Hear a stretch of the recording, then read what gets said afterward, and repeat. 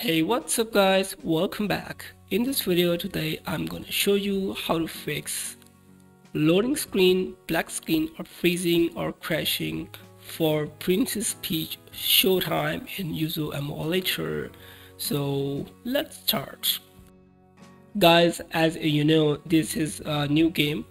Uh, so we need uh, new firmware files and uh, a new uh, file to run uh, this game in Yuzu.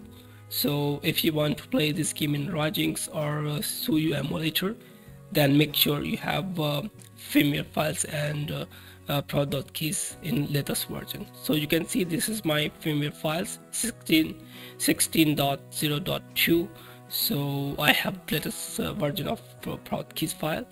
And if you have already latest version then we need some more settings. Go to emulation configuration and to graphics tab and select OpenGL. Do not use Vulkan because uh, this game is not playable with Vulkan at this time.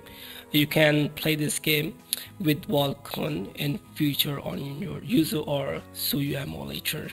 So select GLSL and check this option. Select zip GPU and 1x resolution AMD super resolution advanced tab. Select high and BC3 medium quality. And you can change your VRAM usage mod. So you can try these two options one by one and check this uh, uncheck this option and uh, select uh, dock mode. And okay. Now guys make sure you have latest version of drivers so go to uh, device manager search bar and type here device manager. Go to device manager control panel. It's very important thing guys. And go to display adapter right click properties and drivers. And guys you can see double date and double version already installed for your GPU device in your Windows. Uh, if you have older version then please update drivers first.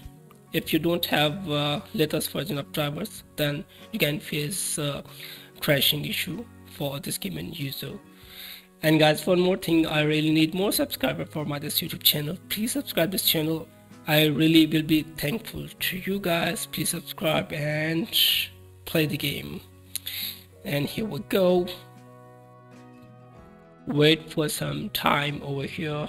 Do not skip any part of this video guys. You can see I have game FPS 0